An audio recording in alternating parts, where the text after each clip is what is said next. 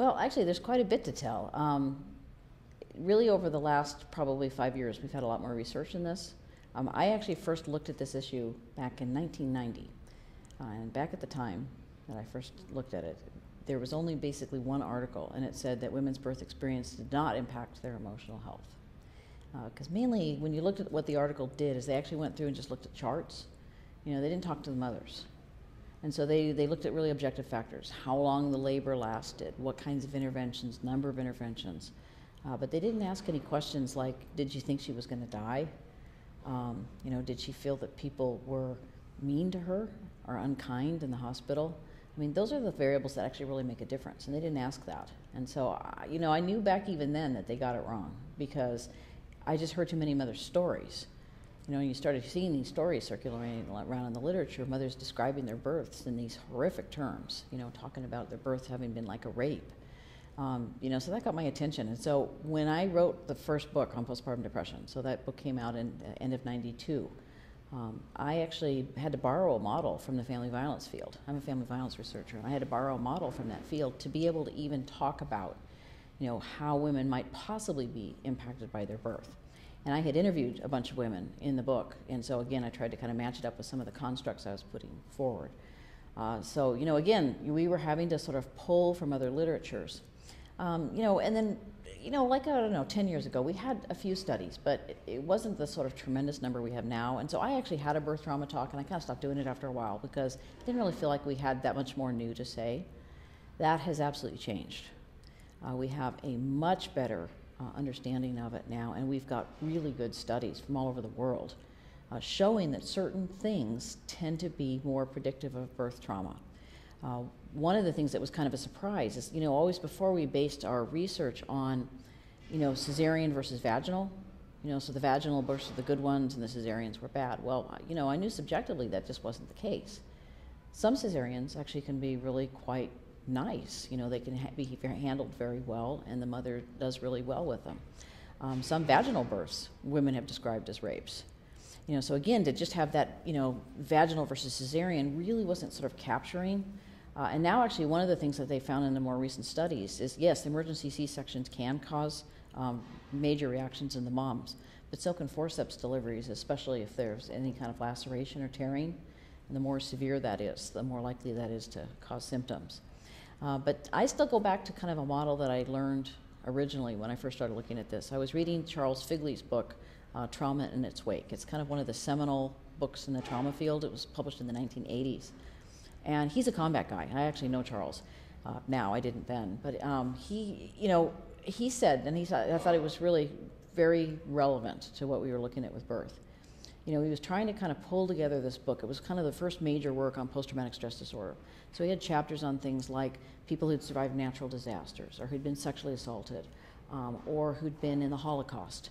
Um, and or who had been in combat. And so again, trying to kind of pull, you know, these are very different experiences, but what were the commonalities? And he said that an event will be troubling to the extent that it is sudden, dangerous, and overwhelming. And I think right there, you've really kind of captured some of the subjective responses that mothers may have uh, when they talk about their births. You know, so again, you know, that's a, that's a story I hear over and over and over again from moms. They'll tell me, you know, that things were going fine and then they were suddenly bad. You know, one mom in my book, I think her, you know, things were going okay. They ruptured her membranes and then she had a prolapse cord and it became instantly a medical emergency.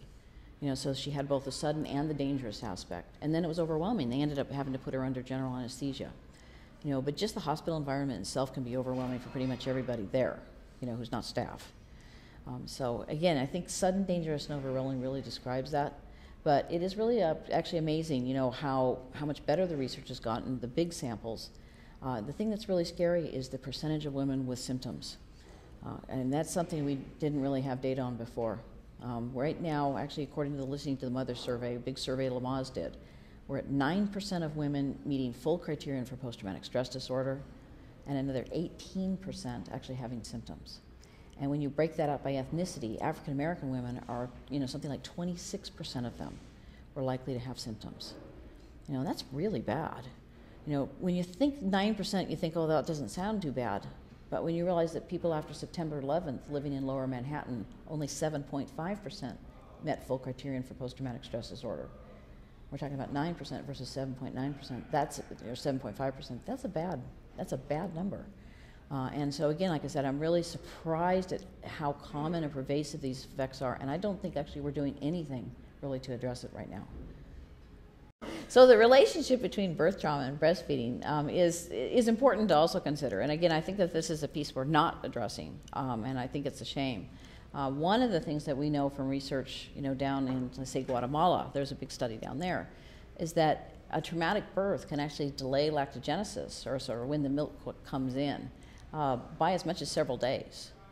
And so then I've seen a lot of mothers kind of get into trouble because here they are and they're trying to kind of breastfeed, and maybe the baby's a little sleepy, um, and they're trying to, you know, bring in their milk supply, and all of a sudden their milk's not there. Baby's weight starts, you know, dropping. The baby gets maybe some jaundice. I mean, and it just can create this whole sort of cascade. And I think if we kind of understand that, we understand the physiology of what happens when people are put in extremely stressful positions uh, then we will can we can I think take steps as lactation consultants to step in and do something about that. Uh, for one thing, you know, I would probably with a mom like that work to see if she can tolerate skin to skin. Sometimes moms, if they've been through really traumatic things, have a hard time with that.